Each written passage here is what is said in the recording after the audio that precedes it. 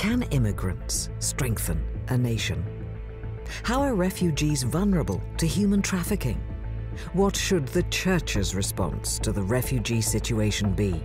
Hear answers to these questions on In Depth as part of the Refugee Love Your Neighbour season with guests Danielle Strickland. This is just a massive material for God to use to create something we could not even have imagined. Matthew Soerens, Anne Buwalda, Krish Kandiah. But Jesus says, What you do for the least of these, you do for me.